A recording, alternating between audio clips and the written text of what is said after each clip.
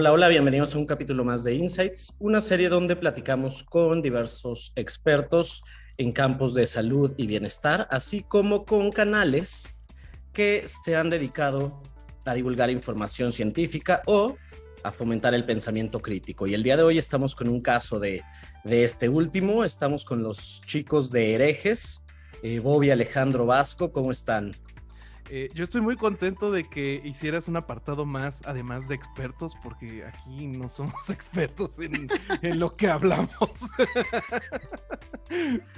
no, pero justamente yo creo que, eh, que espacios como el suyo eh, permiten a las personas conocer a, pues a otros puntos de vista. Eh, eh, por eso decía al final, ¿no? Como que favorecer el pensamiento crítico, que es al final lo importante. Nadie puede ser experto en todo y difícilmente en algo. Entonces, este. El intento se hace.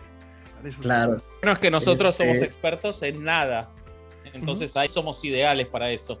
Porque al no ser expertos en ninguna, este, estamos más preparados.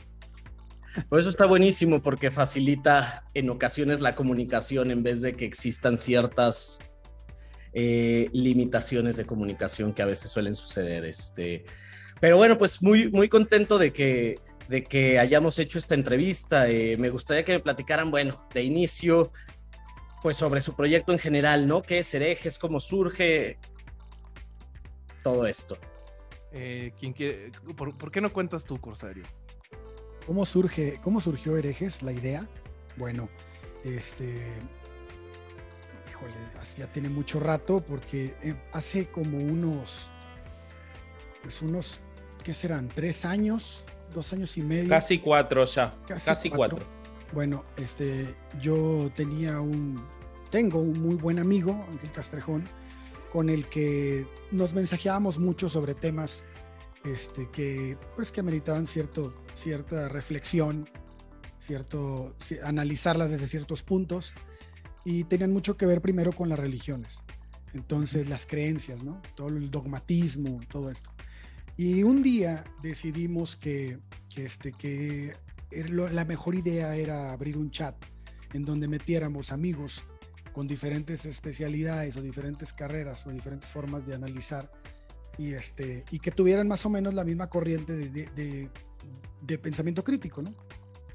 Y lo que pasó ahí fue que se hizo un grupo de WhatsApp de varias personas, entre las que están Bobby y Vasco, y, este, y bueno, pues el grupo se empezó a hacer un poco grande, llegamos a ser varios, todavía existe el grupo, y empezamos a tocar temas ahí, a verlos desde ciertos, desde distintos puntos. Había una bióloga, una doctora en biología, abogados, este, eh, de, todo tipo de licenciaturas. Y entonces, eh, pues de ahí un día dijimos, pues vamos a juntarnos, vamos a conocernos después de cierto tiempo. Hicimos una fiesta, si le quieres llamar así, y nos conocimos los más que pudimos. Este, a raíz de esa reunión nació la idea porque Bobby eh, dijo, oye, bueno, Bobby vino, vino a mi casa y nos fuimos de aquí a, a Monterrey a la reunión y yendo en carretera, este, me dice, por, estuvimos platicando un buen rato y me dice, imagínate que esto lo pudiéramos trasladar a un podcast. Y yo le dije, ¿qué carajos es un podcast? Y me dice, no, pues es como un programa de radio por internet. Y me empezó a explicar, ¿no? Todo, toda la idea del podcasting. Y a mí me latió mucho. Entonces le dije, órale, sí, va. Pero pues como buenos eh, este, decidiosos, dijimos, pues ahí vemos, ¿no? Y ya conforme pasó la reunión, le, empezamos a platicar a todos y pues realmente en esa reunión solo quiso, este, ah, no, en esa reunión no quiso nadie. O más, todos dijeron que sí, más bien. Todos dijeron que sí, ajá. Todos dijeron que sí, no se armó. Sí, a huevo, buenísima idea. Y de regreso. a ver cuándo nos vemos, ¿no? Exacto, ándale, ándale. Exacto. Y de regreso, este, pues volvimos a hablar del tema y quedamos que sí, que sí se hacía. Y como quiera le dimos largas, ¿no? Entonces, ya cuando decidimos que sí lo íbamos a hacer, invitamos a Vasco. Y Vasco tenía un montón de chamba, tenía el tiempo hasta el tope y nos dijo, ¿saben qué? Yo no puedo ahorita. Entonces este, dijimos, bueno, lo hacemos nosotros dos. Pero Lola levantó la mano y dijo, yo también, yo jalo. y, Bobby tenía muchas ganas de que viniera porque era una doctora en biología y es muy inteligente. dijo, órale, vente. Entonces ya empezamos con Lola Y este, así fue como empezó el podcast. Ya después Lola tomó su rumbo a la ciencia y Vasco ya llegó en la segunda temporada y es por, por eso que estamos aquí los tres. Ok, y este nombre de herejes viene entonces, por lo que entiendo, de, de que el tema inició principalmente como una como un tema de hacia la religión, ¿no? Como una crítica hacia cuestiones dogmáticas de la religión. Justo el grupo de WhatsApp se llama Herejes del Señor. Y pues ya sabes que cuando abres un grupo, pues no sabes cómo ponerle y pones cualquier tontería que se te ocurre. Pues, creo que hay un amigo de ellos, ¿no? Creo que es tuyo, ¿no, Durán? Que cualquier cosa que alguien escribe en Facebook o lo que sea, va y escribe hereje. Ah, sí, Guti, un buen amigo mío. Sí, creo que algo tenía que ver eso, pero sí, más o menos fue por ahí. Y ya a la hora de que dijimos, bueno, queremos hacer un podcast, ¿cómo le ponemos? Y pues fue lo primero que se nos ocurrió, sentimos que estaba pegajoso y así lo pusimos. la verdad pero además hereje, hereje es el que quiere conocer y entonces la verdad que eso eh, terminó y además ellos hicieron algo muy inteligente en la primera temporada además de no tenerme a mí, hicieron otra cosa muy inteligente que fue eh, hacer una introducción, una presentación con audio o explicaban lo que significaba hereje. Y la verdad que cerraba perfectamente porque ya desde la introducción de esa primera temporada te permitía despegarte cuando lo quisieras hacer de los temas religiosos. Y la realidad es que ellos lo hicieron muy rápidamente, porque ya para el, si no estoy equivocado, para el quinto, sexto episodio, para el tercero o cuarto ya estaban hablando de feminismo, eh, y para el quinto, sexto ya estaban hablando de salud, eh, de historia. Yo fui como invitado a hablar de límites del humor.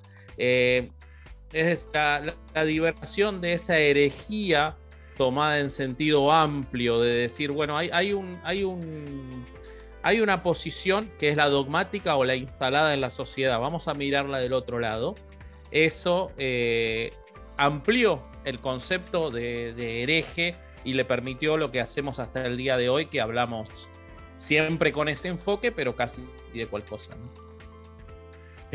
Sí, sí, justo ubico perfecto la introducción y me parece que era muy buena eh, utilizar la definición para, pues, para de alguna manera indicar que no solo se, puede, se tenía que esperar un tema religioso, ¿no? Que es justo lo que nos decía Vasco ahorita.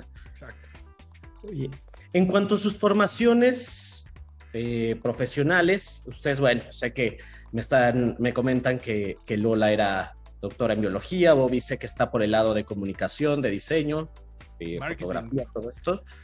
Eh, Vasco y, Alejandro, de, ustedes no sé mucho cómo Son los abogados del diablo ellos. Somos abogados, los dos. Los dos. Yo me dedico al derecho público eh, y al derecho internacional y Alejandro, bueno, lo dirá él. Sí, este, yo, yo tengo, yo estoy en carrera judicial, soy abogado, pero trabajo en tribunales colegiados. Ah, y eres músico también. Y, estudié música. Sí, la diferencia es que Vasco se dedica a litigio y yo me dedico a la función pública. Ok. Exactamente. Sí. Yo en Argentina y él en México, ¿no? Por supuesto. Eso ya se notó, evidentemente, pero, hay que aclararlo. alguien puede, puede, pensar que México no. Vivo en, vivo en el lugar donde se habla así como hablo. Perfecto. Eh, eh, eh, bueno, retomando la parte de herejes que, que ya, que ya, nos, ya me, nos decían un poco, ¿no? Como de dónde viene la palabra y cómo esto pues se relaciona con los temas que tocan, que tocan.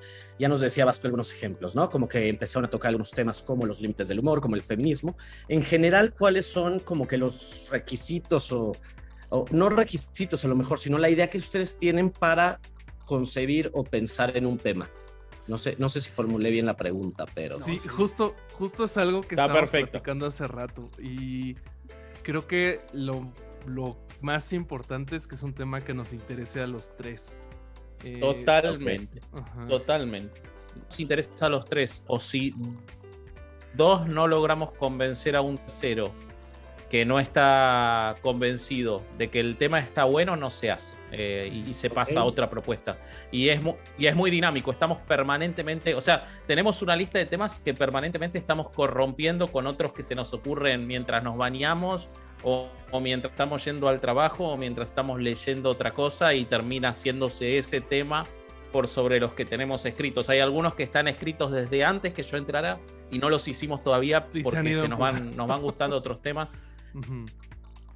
Algo, algo interesante que nos pasa y que, y que sí es, es, creo que es necesario puntualizarlo, es que hay temas que de entrada pueden no ser tan atractivos.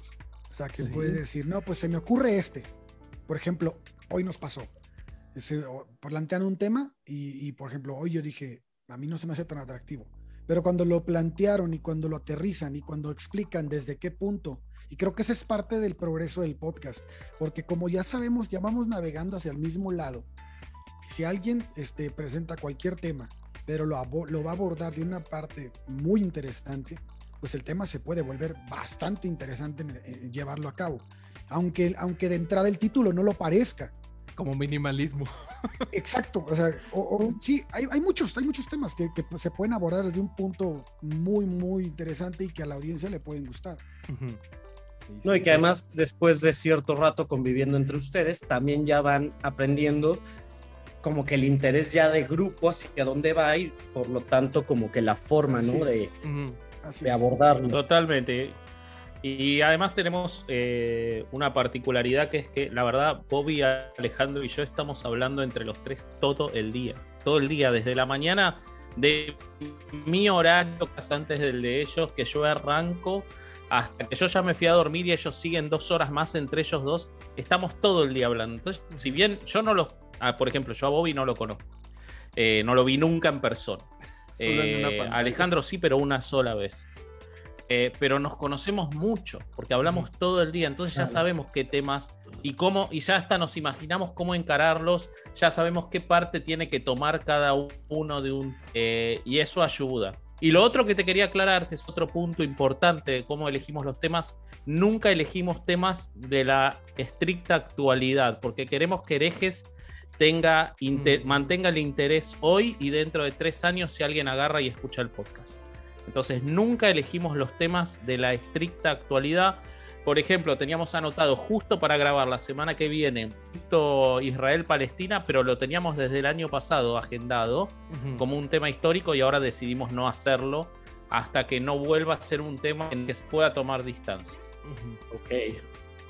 Ok, así entonces, este, como conflictos políticos recientes, este, situación COVID, todo esto no sería entonces un, un tema que, fuera de interés para ustedes o que, que, entre como dentro de del contenido que quieren manejar. Creo que COVID fue el único que sí tocamos. Sí, ese sí, creo que hubo pero, Pero también lo consideramos como que es una pandemia que, ahorita puede pasar, pero que va a quedar en la historia de la humanidad. Es, un, es, un, evento muy importante y por eso, y además los mitos que derivaron de la pandemia, era importante hablar de ellos. Entonces, por eso que lo enfocamos más para allá, hacia las teorías de conspiración y ese tipo de cosas. Ok. Esas pues han existido todo el tiempo y aparentemente seguirán. Eh, se vale soñar que se van a acabar un día, ¿no? Bueno, hacemos nuestro intento al menos. sí. Oye, a ver, y ya que deciden un tema, eh, que ya se lo, digamos, que a alguno de ustedes se le ocurrió, lo presentó pues al pleno y, decidieron que, está chido, que van a, que quieren tocarlo. Ya en eso, ¿cómo es su proceso de investigación? Creo que es pues muy distinto entre cada uno, ¿no? Sí, más bien, por ejemplo, tenemos como un proceso si vamos a traer a un, experto. Ese es este, yo creo que la, preparación más sencilla y nos enfocamos más como en las preguntas que queremos hacer. Eh, si es un suceso histórico, eh, intentamos a veces dividirnos como diferentes perspectivas que llegan a ver del tema. Ah, sí, yo trato de tomar, yo trato de tomar, o es algún tema que pueda tener alguna parte de eh, origen y que eso pueda tener además algún viso cómico, trato de tomarlo yo porque aplicar un poco de, tenemos una de las frases que se fue generando en y el público es que primero nos reímos para después amargarnos, entonces intentamos seguir esa, esa línea, ¿no? y, entonces, pues, eh, Bobby es muy bueno para los datos estadísticos, para los casos, eh, para todo eso y Alejandro es buenísimo para contar cualquier historia, entonces nos lo distribuimos así. Sí, más o menos así es como ya sabemos quién es fuerte en qué y así lo dividimos. También, también, también la narrativa este, parte mucho. Si escuchan el podcast, la gente que nos está escuchando este, ahorita, eh, se va a dar cuenta que muchas veces Vasco es el que lleva la narrativa o a veces soy yo. Entonces, la diferencia ahí está generalmente en que a nosotros decimos desde el, desde el principio, este tema, sabes que eh, lo va a agarrar él o lo voy a agarrar yo o lo va a agarrar Bobby. Y entonces, este, como que nosotros sabemos las fortalezas de cada uno y dónde, y, dónde uno desarrolla, este, de alguna manera, lo mejor que se pueda, ¿no? Entonces, eso es lo que tratamos de hacer. Y respecto de cómo investigamos, creo que también iba la pregunta ahí, ¿no? ¿Cómo, cómo, cómo logramos la investigación? Este, bueno, yo pienso que todos tenemos una forma distinta de hacerlo. Quiero pensar eso, porque nunca me he sentado a ver cómo investiga Vasco y probablemente investiga muy parecido a mí o Bobby también, pero pienso que eh, a veces nos topamos con las mismas cosas y, traemos los mismos datos, pero lo que hacemos es tratar de no contarnos entre nosotros qué investigó cada quien. Y entonces, este, por ejemplo, yo parto de lo general, ¿no? Yo me voy, por ejemplo, un ejemplo muy burdo, me voy a Wikipedia. Wikipedia, yo siempre empiezo, si, si el asunto es en Rusia, ah, bueno, pues me meto Wikipedia en, no sé, en Finlandia, donde, supongamos que es Finlandia, porque creo que, no sé si Rusia tiene Wikipedia, pero Finlandia, me meto a Finlandia y nada más, este, si es un idioma que no conozco, lo traduzco, pero de la página de Finlandia. Entonces de ahí vienen las, las, las este, referencias y empiezo a buscar las referencias que tan, que tan buenas son, y de ahí parto hacia, hacia más, hacia, hacia mi mis, datos más particulares. Eso es lo que trato de hacer yo. Y de ahí me meto y me meto y me meto y me meto hasta que llego a las, a las fuentes que quiero. Y este y más o menos el proceso es así, dependiendo qué tema sea, obviamente. Y ya también creo que es importante decir que creo que los tres le ponemos algo de enfoque a que esos datos y historias que estamos recopilando para contar, siempre intentamos darles un giro divertido o didáctico para que quien lo esté escuchando intentarles dejar algo y, que, hayan, que aprendan algo para cuando se acabe el programa.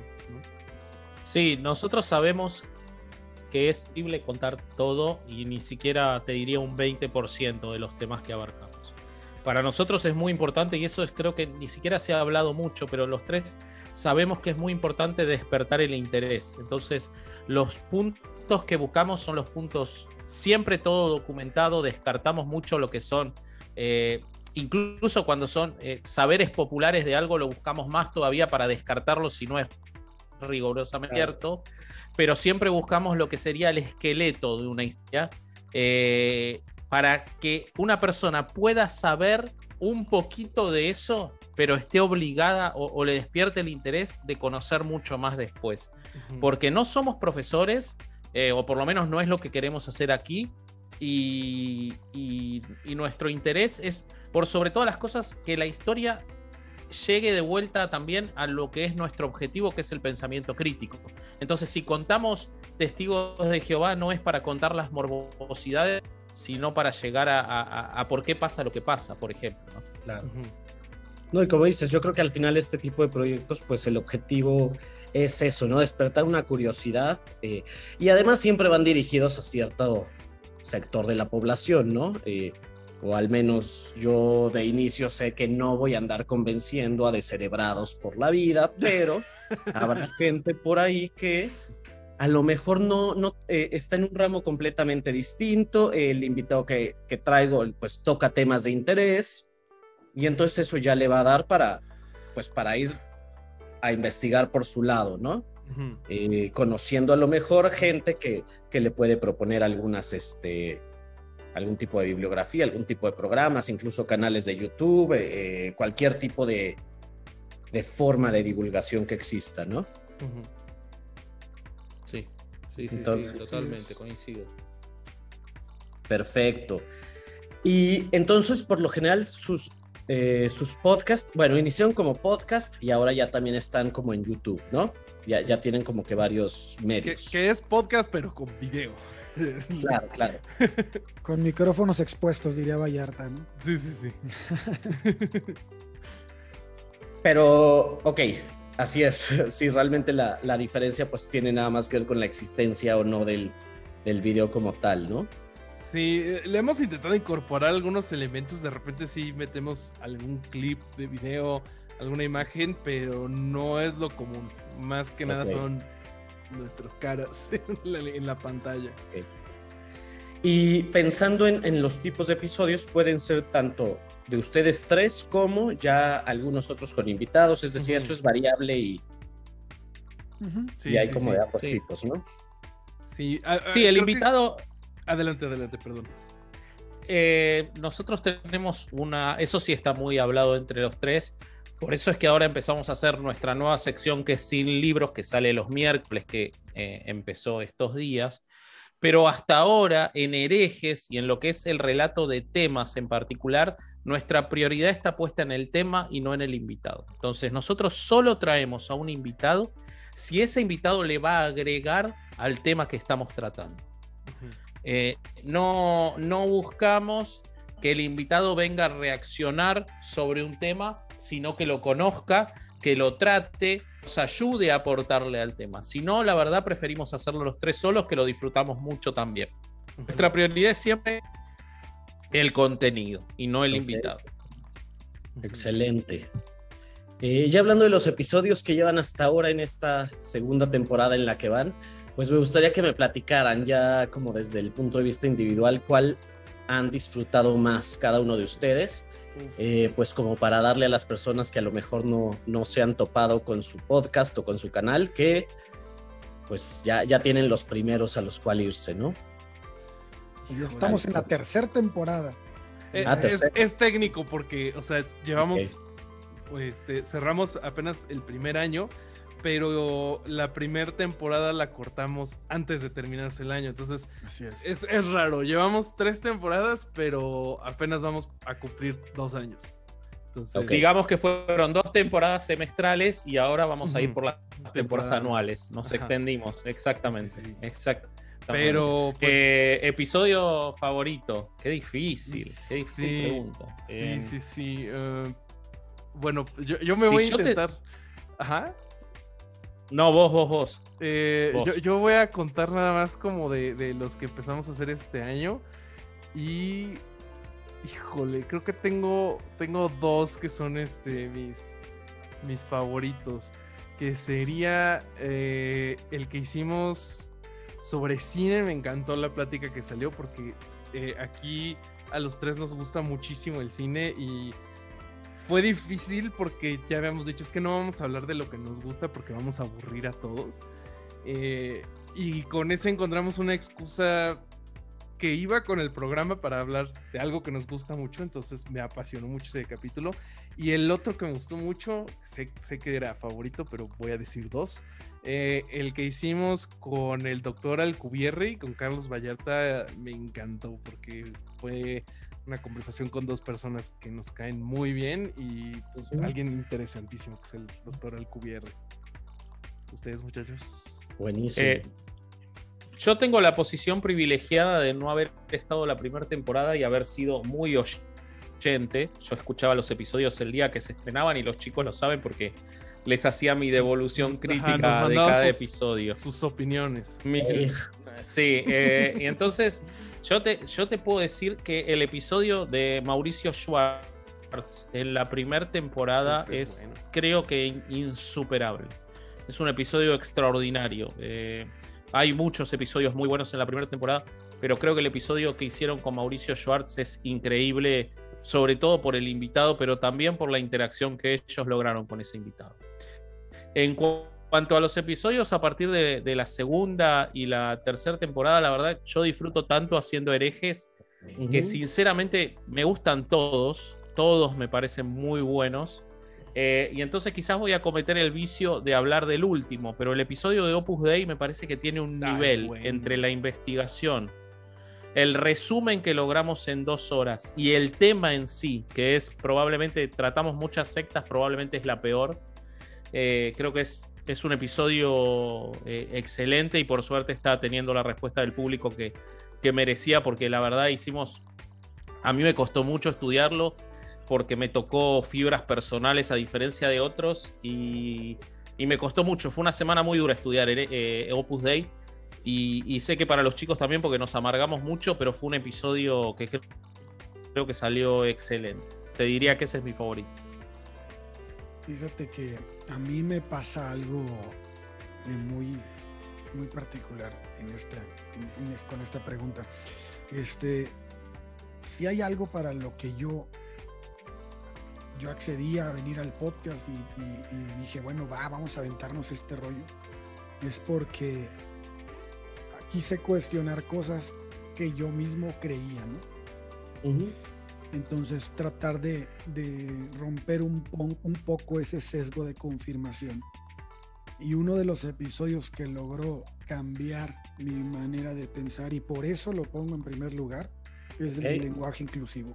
Mm. Lenguaje inclusivo con la doctora Victoria Marrero Aguiar es un episodio que a mí me cambió la percepción del uso de este lenguaje y que este y que por eso pondría en primer lugar, eh, no tanto por cuánto me haya gustado hacerlo, porque te lo dirán, y si lo escuchas me vas a dar cuenta, pero te lo dirán mis compañeros, es un episodio en el que yo casi no hablé. Y la razón por la que no hablé es porque estuve escuchando todo el episodio, lo que estaban diciendo, y al final dije, mi conclusión en ese episodio fue, pues yo entonces cambio de opinión, ¿no? Ok. Y, eso, y por eso lo pongo en primer lugar y siempre va a estar en primer lugar ese episodio. Sí, es cierto. Antes de ese era, no, yo estoy en contra del lenguaje inclusivo. Vino, la, doctora y cambio de 180 No, el Vasco también. Vasco participó muchísimo. Yo también. yo igual. Y yo, yo no me acuerdo yo busqué, Yo busqué, no, no, yo, yo tenía una posición, de hecho yo busqué a la invitada porque yo necesitaba hablar de ese tema. Yo no tenía una posición en contra del lenguaje inclusivo, sino de su importancia. Me parecía absolutamente banal.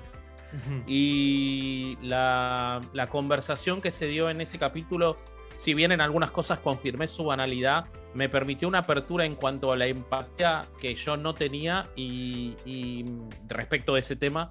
Y, además hablarlo con, la doctora. Si, yo no lo nombré porque sabía que lo iba a nombrar Alejandro, pero si pueden escuchar ese episodio y escucharla a ella, es eh, de los mejores eh, de los Mauricio, vos vas a tener una vara alta porque de los mejores invitados que tuvimos es esa, es esa doctora. es, increíble, es divertida, es inteligente, formada, con conciencia política. Es un capitulazo y aparte una persona extraordinaria. Así que ese episodio es, maravilloso, sí, coincido.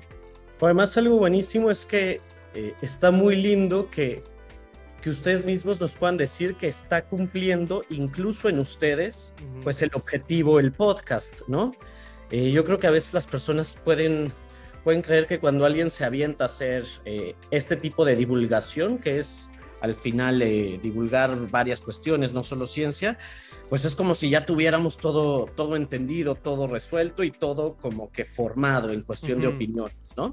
Sí. Cuando es, resultan proyectos que son enriquecedores, pues también para uno mismo. Y el que, y el que tuve pláticas, bueno, es que además me cambió la opinión por la forma en la que me lo argumentaron, pues es como un bonito testimonio de. Sí, sí, sí. También es algo que sirve para. Sí, totalmente. Oye, en, cuestión de su público, eh, ya, no, ya no ustedes como que a nivel personal, ¿cuál ha sido como que uno que sí noten que haya gustado muchísimo? Igual, a lo mejor ahí sí es más difícil como que... De hecho es más fácil. Sí, es mucho más fácil, todos sabemos cuál es. Y que es Testigos de Jehová. Ok, sí, sí, lugar es el más popular que hemos hecho. Okay. Que bueno, está a punto de rebasarlo Opus Dei. Eh, en cuanto a la primera semana. En cuanto a la primera semana. Mormones, las, las sectas interesa mucho. Eh, es descubrir un mundo y y entiendo que también está el morbo de saber cosas que no se saben de esos mundos internos, que tampoco sabemos nosotros antes de investigarlas. Eh, Luz del Mundo, todos esos episodios. Eh, pero, y de hecho hicimos una encuesta en la que contamos eso y la verdad que sacando ese primer lugar está muy parejo. A la gente le gusta el podcast. Hay episodios que no, Eh, hay episodios que esperamos que exploten y no pasa nada. Hay episodios que pensamos que no va a pasar nada y explotan. Eh, no es fácil conocer el nervio del público. Si bien tenemos una interacción muy directa con nuestro público nosotros, porque contestamos todos los mensajes, porque ya conozco mucho, porque tenemos los Patreons, que son una comunidad, porque tenemos el grupo de Facebook, que es otra comunidad y con todos interactuamos. Eh, nunca sabes antes de hacer un episodio qué va a pasar. Eh, y la realidad es que tampoco nos importa tanto una vez que decidimos hacerlo, porque lo que hacemos nosotros en primer lugar es el podcast para nosotros tres. Por eso tampoco nos contamos las cosas, porque nos gusta la reacción que van a tener los otros dos. Disfrutamos mucho contándonos a nosotros tres el podcast. Y creo que eso y nos lo ha dicho el público. Si te puedo decir, más allá de un capítulo favorito, algo que le gusta mucho al público es que los sentamos en la mesa a charlar con nosotros, al público. El público se siente eh, parte de la conversación con nosotros tres, porque nosotros tres somos tres amigos que estamos charlando de cosas que no sabíamos antes de sentarnos. Entonces eso, eso sí le funciona mucho al público más que quizás un episodio en particular. Ok. Es más ya la dinámica entonces este, que se ha ido creando ya no solo entre ustedes, sino pues la, la relación con ellos en estos pues diferentes canales. Sí, es. diferentes medios. Buenísimo. Ya para, para terminar, bueno, me gustaría que, que, que, también cada uno nos comentara algún canal que recomienden, que disfruten. Eh, en este caso sí, como enfocado a, a conocimiento, ¿no? A lo mejor temas de salud, de ciencia, de física, bueno, la física es ciencia, pero bueno, este, por, por esos rumbos o cuestiones culturales, ¿no? Pero, Yo ya sé cuál voy a decir. La fonda. A ver. No, no, ese te lo dejo a ti. Yo les voy a recomendar Medicina por el Derecho a Decidir con nuestra amiga la doctora Aisa Tassi. Eh, ella este, hace mucho para informar a toda la gente sobre aborto seguro, legal, gratuito. Este, aquí en México y además hace eh, videos muy chistosos en YouTube. Entonces, síganla. Ustedes, muchachos. Ale. Bueno, a mí este, me gusta muchísimo El Rey va desnudo de Mauricio Schwartz. Me gusta muchísimo ese, ese, ese canal y porque aborda temas de todo tipo. Este está en YouTube, lo pueden seguir. También hace streaming, creo que los miércoles o los, los miércoles. Y este, no, los jueves, perdón. Y este, y la verdad es que aborda temas, además que es una persona sumamente inteligente, aborda temas que son de interés social y actual y también histórico. Es, es muy, muy bueno. no, y lo más cabrón de, Mauricio Schwartz es que en, en los live streams le preguntan cosas y las contesta como si las hubiera estudiado para esa pregunta en específico. Es un tipo Es una persona muy leída. Sí, sí, sí, es crack. ¿Tú, querido Vasco? Y yo voy a recomendar a Razón o Fe de nuestro querido amigo Manel. Eh, Razón o Fe es un canal español. Manel vino dos veces a Herejes, vino a hablar de eh, minimalismo y vino a hablar de eh, ¿Cómo se llama el otro tema, Roberto? Em, este, libre albedrío, que no tiene. De libre albedrío, se me, fue, se me fue el tema. Eh, y, pero más allá de eso, Manel, además de que es entretenido y además de que consigue invitados increíbles por su pura insistencia, tiene una. No, nadie le debe haber dicho que no en la historia, Manel. Eh, lo hemos vivido como invitados. Y, eh, Manel es una persona tan agradable que trae invitados que es muy difícil de conseguir, no solo de habla hispana, sino también en inglés de los canales de ateísmo más importantes del mundo y hace siempre un buen papel. Eh, aparte de eso, hace eh, cosas con los oyentes, con el público. Es, está buenísimo. Yo recomiendo mucho Razón o Fe. Excelente, pues ya, están nuestras recomendaciones. Recomendaciones eh, de las que dijeron conozco a dos. ¿A quién? Conozco Razón o Fe y conozco a Mauricio, eh, pero sin duda yo me voy con la tarea de ver la de, el de Bobby. Eh, bueno, el que recomendó Bobby, pues a los, que, a los que nos escuchen ya tienen ahí para seguir investigando, que también uno de mis propósitos es que se vaya haciendo una red de gente que difunde o divulga trabajo bien hecho, ¿no? Sí, para totalmente. no tengamos a Bárbara de Regil ahí todo el tiempo. Totalmente. Siendo no, no más, por favor. Pues chavos, muchísimas gracias por habernos acompañado. Yo aquí en la descripción dejaré pues toda la información que me pasen para que lo sigan en Spotify, en YouTube y todos lados. Síganos en, Instagram porque el Corsario quiere tener swipe up. Por favor, se lo, suplico. necesitamos, necesitamos el swipe up. Esa es una campaña de nuestro podcast. Necesitamos el swipe up para poder promocionar más fácil. Eh, no se está viendo reflejado el enorme crecimiento de nuestro público todavía en Instagram y necesitamos el swipe up. Así que vengan, vengan a Instagram. Súper frívolo. Muchas gracias por, habernos invitado, Mau. La, pasamos increíble. Sí, muchas gracias. Sí, muchísimas gracias. Pues muchísimas gracias. Chao. Adiós.